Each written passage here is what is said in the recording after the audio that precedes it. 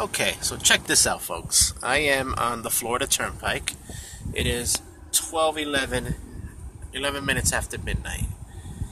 And after getting out an hour late at my job because of a fire alarm going off, right at the time that I was supposed to leave, I had to take care of that situation. And it took me about an hour to take care of that. Jumped on the turnpike to go home, which is the quickest way to get home. And this is what I get. That's right, a traffic jam at 12:11 at night, Sunday night into Monday morning, and I have to be at work at 6 in the morning. So, talking about Murphy's law, it's happening to me today.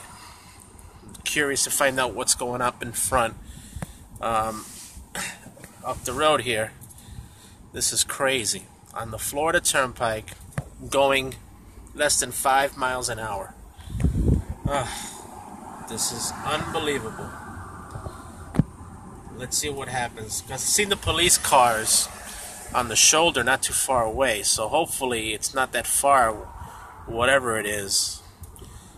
And um, that way I could just get there as soon as I can. But let's see what happens as I am hoping that this does not take long at all and now I'm slamming on the brakes. This sucks. And let me tell you something.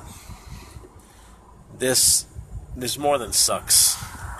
Obviously one lane is closed. Which lane is that? I'm, I'm assuming it's going to be the right lane since it's more empty than the left lane.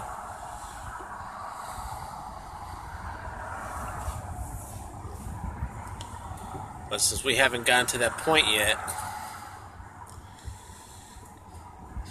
This might be a little bit further down.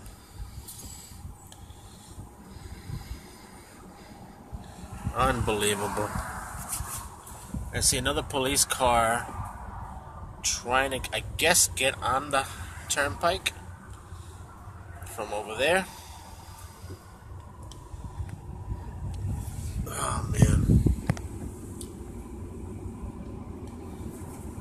I see, okay, now I see more flashing lights.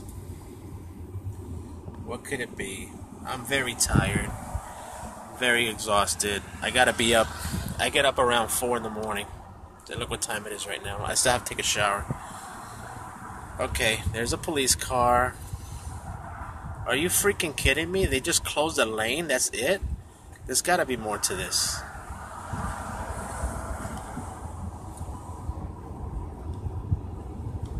Okay, this was an accident. Alrighty, I'm free. They cleared the accident. That was a tow truck there. Alrighty, hallelujah. I'm out of here. Have a good night, folks. Later.